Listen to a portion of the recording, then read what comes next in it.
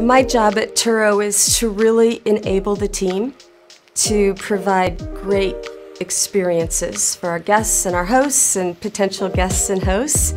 Everything from looking at feedback that we hear from our community to the side of strategy and planning and how do we make it a, a better experience overall for our customers. Turo's been around for 12 years as Relay Rides. We are in the US, we're in Canada, we're in the UK. We're really striving to create a modern, integrated, fantastic customer experience that's safe, unbiased, and scalable. You know, I really find that the old ways of measuring customer experience success are quickly getting replaced with thoughts about customer effort.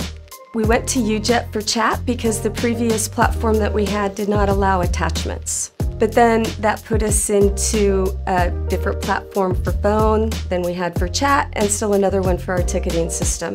So then the next problem that I was looking to solve was to get phone and chat on the same platform so that it would make it easier and more agile for us to really put our agents where they needed to be. The one thing that was really interesting about UJET was the vision and that you aren't just looking to be a, a phone platform and a chat platform and sell things as different components of the user experience.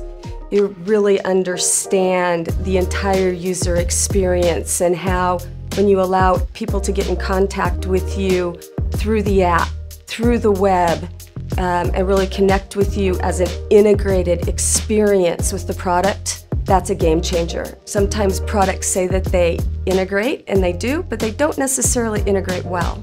So making sure that everything from the desk space for the agent wasn't being overwhelmed because of how UJET fit into the CRM frame. Considerations like that were really important when we made the decision. UJET has really helped us in a, in a number of ways, but I would say first and foremost, probably from a real-time workforce management perspective, because we've got some really well-built integrated dashboards that allow us to see the different call types that we're getting, if we have calls in queue, different chat types that we're getting, if we have chats in queue, and where our agents are. So we can really allocate the workforce um, to where the work is we're also able to get good historical reporting that tells us why are our customers calling through use of a very well-built IVR that allows us to use that data to find ways to help the customer more effortlessly.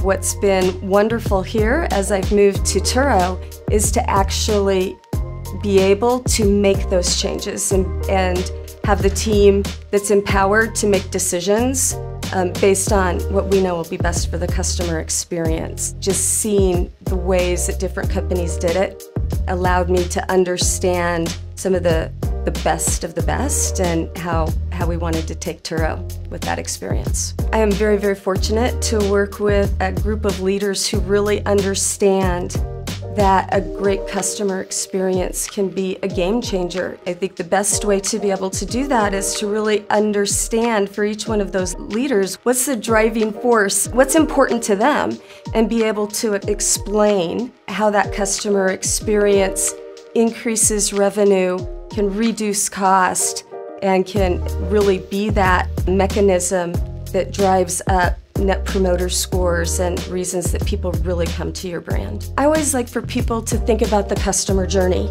and not just think about the customer journey from the time they contact support to support closes a ticket. Think about why do they look at your company in the first place? The touch points along the way is where I think it's important to look and see are those touch points great experiences or ones that don't have such positive experiences? You really have to start with what do you want to accomplish most that's got the biggest impact and then continue to reassess that customer journey. Did you make it better? And now where can you address the next point along the way?